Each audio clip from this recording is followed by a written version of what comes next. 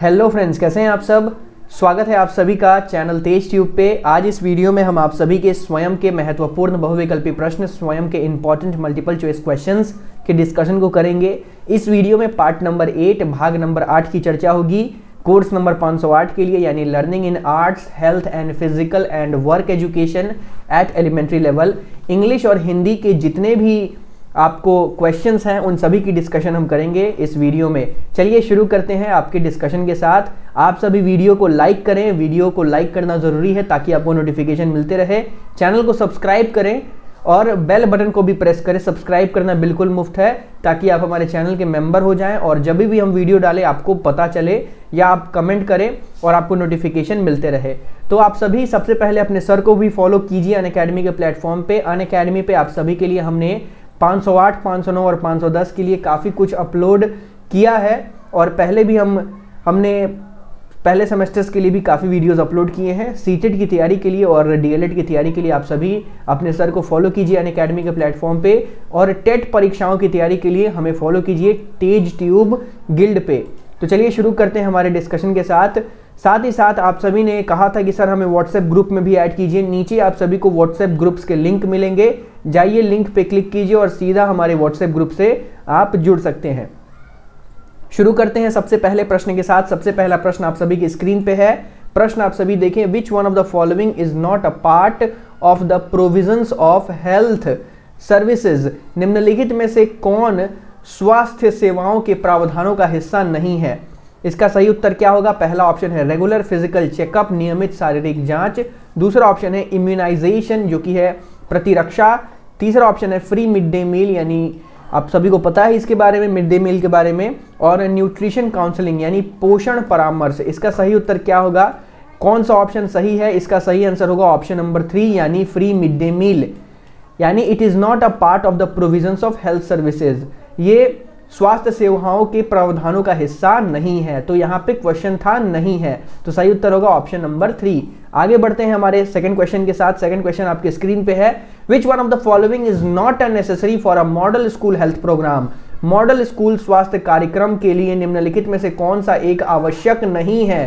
पहला ऑप्शन है safe environment in school school में पर्यावरण बचाव दूसरा ऑप्शन है न्यूट्रिशन सर्विसेज़ पोषण सेवा, तीसरा ऑप्शन है कम्युनिटी सॉन्ग सामुदायिक गीत, चौथा ऑप्शन है फ़िज़िकल एजुकेशन यानी शारीरिक शिक्षा।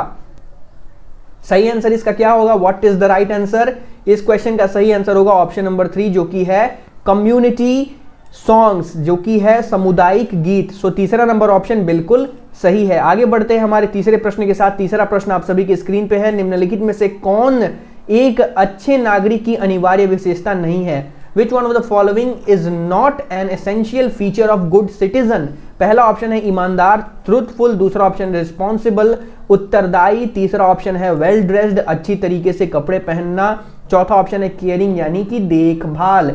इसका सही उत्तर क्या होगा? विच ऑप्शन इज़ करेक्ट आप सभी कमेंट में बताएँ, सही आंसर होगा इसका ऑप्शन नंबर थ्री जो कि है वेल ड्रेस्ड यानी अच्छी तरीके से कपड़े पहनना।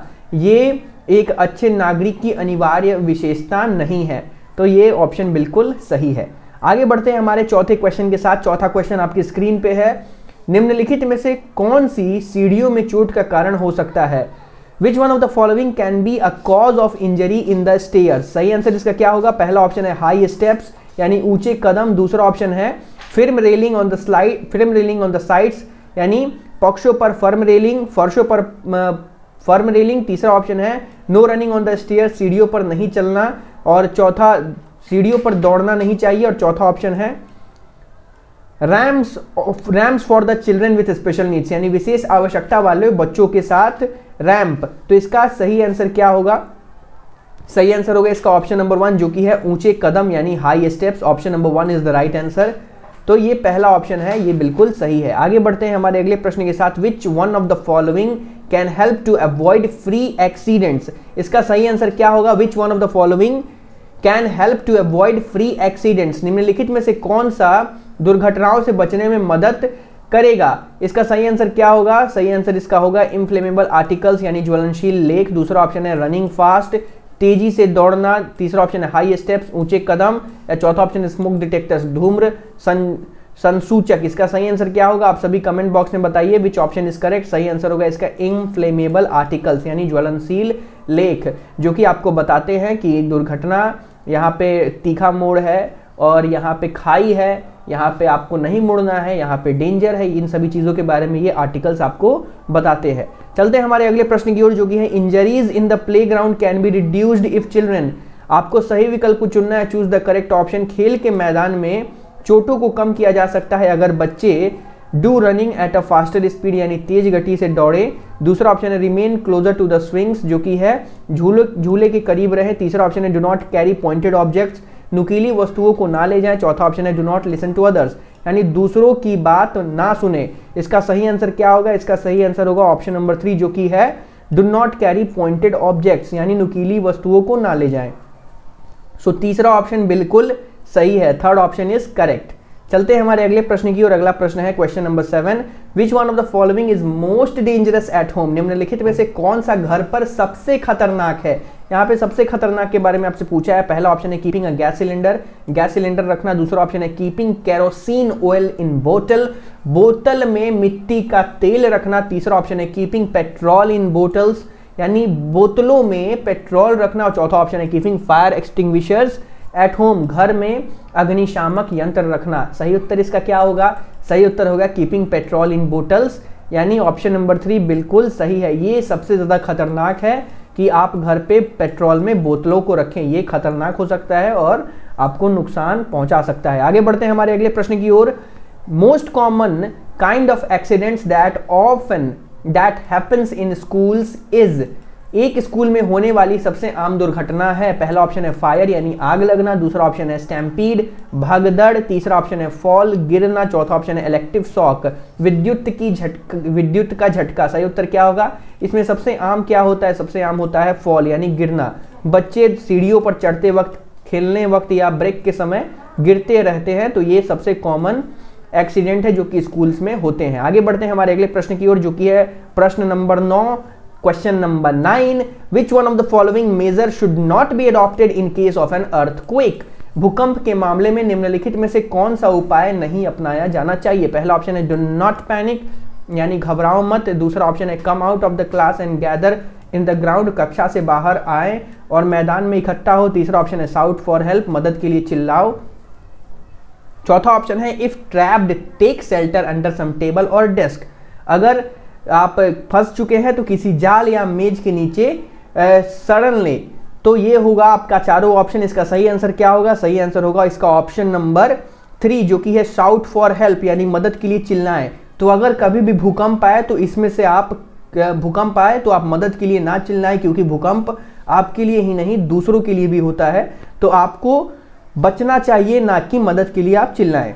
चलते हैं हमारे अगले प्रश्न की ओर। अगला प्रश्न आपके स्क्रीन पे है। Which one of the following is not a principle of first aid निम्नलिखित में से कौन सा पहला, यानी पहले एड का सिद्धांत नहीं है? फ़र्स्ट एड का सिद्धांत नहीं है। पहला ऑप्शन है do not crowd around the injured person घायल व्यक्ति के आसपास भीड़ ना करे। दूसरा ऑप्शन है allow fresh air to come in जो शुद्ध हवा है उसे अंदर आने दे। तीसरा ऑप्शन है a trained person should do the first aid यानी एक प्रशिक्षित व्यक्ति को प्राथमिक उपचार करना चाहिए। चौथा ऑप्शन है call the doctor and wait for him और हर डॉक्टर को बुलाएँ और उसका इंतज़ार करें। सही उत्तर इसका, इसका क्या होगा इस प्रश्न का?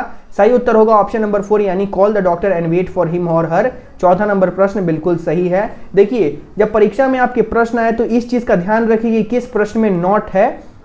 क्योंकि ये आप ज़्यादा गलती करते हैं और ये हमेशा देखा भी गया है तो प्रश्नों को ध्यान से पढ़ें और उससे भी ज़रूरी है कि ऑप्शंस को ध्यान से पढ़ें।